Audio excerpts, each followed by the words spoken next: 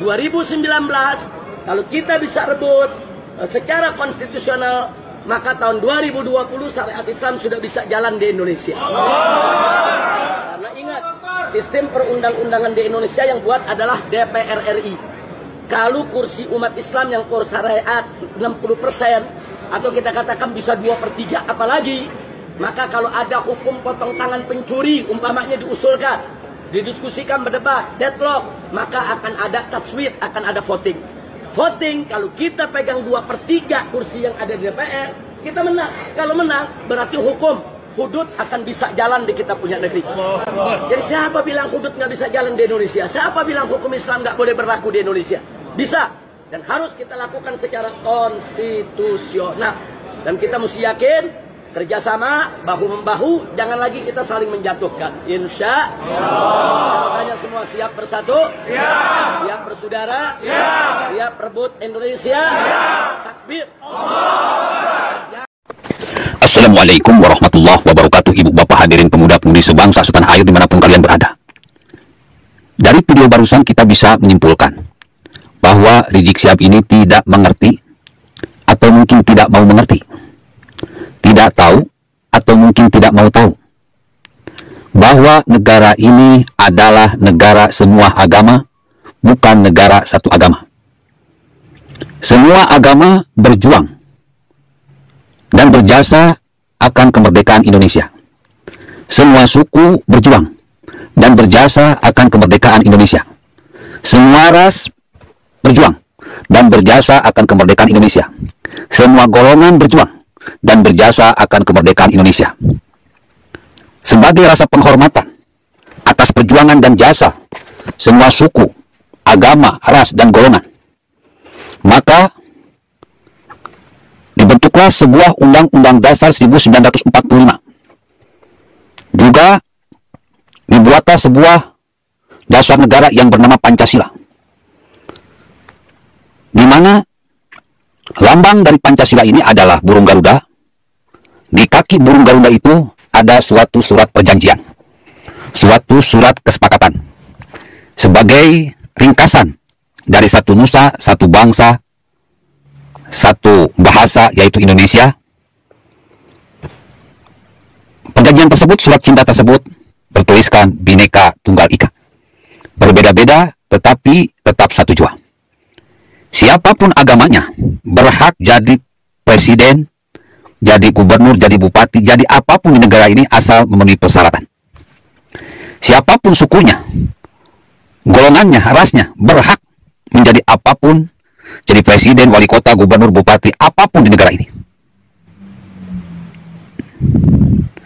Jadi salah besar hanya karena dikarenakan Indonesia ini mayoritas umat Islam. Maka cuma umat Islam yang berhak menjadi presiden, bupati, wali kota, dan lain sebagainya. Apalagi sampai Rizik Syihab mengatakan bahwa Indonesia harus menjadi negara khilafah demi terwujudnya syariat Islam di negara ini. Dipelopori oleh Rizik Syihab ini, maka tentu saja para radikal akan mencoba dan berupaya untuk menjadikan khilafah tegak di negara ini. Oleh karena itu, kita sebagai negara, warga negara yang cinta kepada NKRI harga mati, kepada negara Indonesia adalah negara semua agama, semua suku, ras, dan golongan wajib melawan setiap bentuk pengkhianatan yang dilakukan oleh Rizik Sihab dan kawan-kawan yang ingin mengganti sistem dengan khilafah. Khususnya orang Islam harus berani wala talbisul haqqo bil batili wala taktumul haqqo wa antum ta'lamun mengatakan bahwa apa yang dilakukan oleh Rizik Sihab ini adalah sebuah kezaliman, adalah sebuah pengingkaran, pengkhianatan kepada negara Indonesia secara keseluruhan. Kita harus bersatu padu melawan apa pun visi misi Rizik Sihab. Cara apa pun yang dilakukan oleh Rizik Sihab, wajib kita lawan. Ingat bro, lihat jejak digitalnya.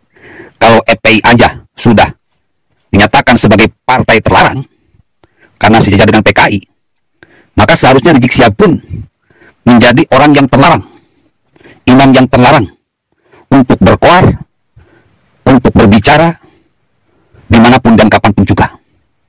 Semua pergerakan Rizik Sihab seharusnya sudah bisa disimpulkan, su- sudah bisa dituduh sebagai pergerakan teroris. EPI-nya sudah dicap sebagai teroris. Ya seharusnya fatwa-fatwa Rizik Sihab pun dicap sebagai teroris. Ini baru adil.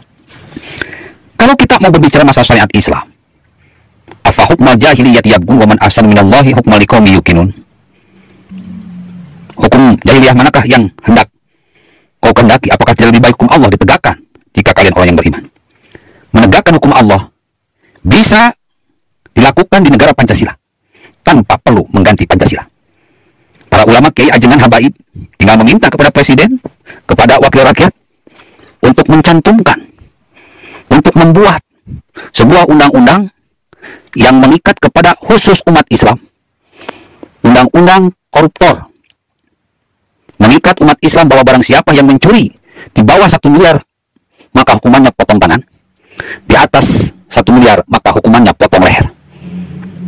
Terus misalkan, barang siapa yang mabuk-mabukan minum khamar, minum babi, makan babi, makan anjing, khusus umat Islam maka akan dikenakan sanksi, hukuman pidana, hukuman kurungan penjara. Satu tahun, dua tahun, tiga tahun, empat tahun, lima tahun. Cuma tinggal bikin undang-undang saja yang mengikat umat Islam. Gak perlu untuk merubah sistem yang ada. Syariat Islam hanya untuk orang Islam, bukan untuk orang non-Islam. Saya kira ini cara yang cerdas dan paling bijak. Jika umat Islam benar-benar ingin menegakkan syariat Islam tanpa perlu menghancurkan negara Pancasila. Jadi sebagai rakyat yang cerdas, sebagai rakyat yang pintar, sebagai rakyat yang berakhlak dan bermental bagus, kita jangan mau dibohongi dan dibodohi oleh Rizik Sihab dan kawan-kawan. Mereka ini pengkhianat negara, Mas Bro. Jangan pernah diberikan kebebasan untuk mengganti Pancasila yang memang sudah nyata mereka inginkan. Billahi taufiq wal hidayah. Wassalamualaikum warahmatullahi wabarakatuh.